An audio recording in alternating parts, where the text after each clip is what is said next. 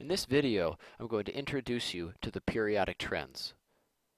We'll see what the periodic trends are, and then we'll, we'll define a couple of terms used to help us explain the trends.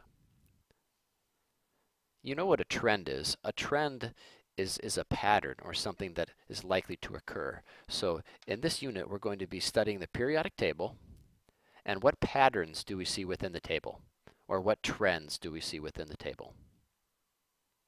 Here are the trends we'll be studying this unit. Atomic radius and ionic radius, metallic and nonmetallic character, and lastly, first and second ionization energy.